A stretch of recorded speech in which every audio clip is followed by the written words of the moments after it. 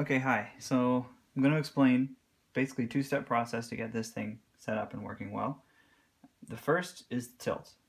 So with a target set, set a target at 44, doesn't matter what it is, get it to run full speed and look and see that it's going both this fast. Three, four, five, six, seven, eight. Now if I just adjust the tilt a tiny bit, it'll speed up. And if I go back the other way, it'll slow down. And it is very sensitive. So I use these stickers and put, you know, three or four or five of them underneath the front of the base and make sure that you put it back in the same place on your table every time. And you want to run about this fast. If it's inconsistent, put another sticker to slow it down, it'll make a big difference. Now, I've got the slider near the middle. Maybe it's a bit on the slow side. I'll go to 44. Should have scooped a bit more.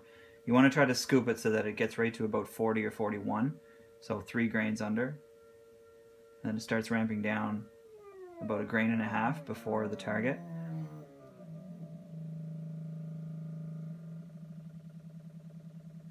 So see how it's it takes a long time right now, but it's no way it's going to overshoot. I take some out, try it again. It should ramp down so early and be going so slowly that it almost will never overshoot unless the kernels clump up. But it's not a, a flow issue causing it to overshoot. See, it's 0.1 under and it's like going at its almost slowest speed trying to get the last bit. So you can do this a few times if you're okay with the time that it takes, then you're done. It won't overshoot. If it's really hard for you to take one kernel out and you'd rather wait an extra couple of seconds to make sure that you don't have to, then you can leave it like that. Or push the slider a little bit that way, make it go a little faster.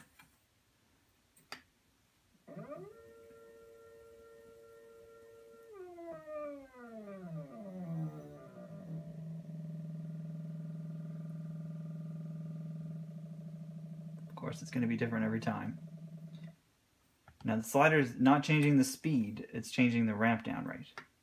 So it only affects how quickly it curves down, which affects how the powder will flow at the last stage. Yeah, see how it got up to 44 a lot more snappy that time. As soon as it overshoots beyond 0.04, 0.06, it probably means the slider is too high and you want to move it back a bit. So even this is probably a little on the slow side. I'll push it a bit more.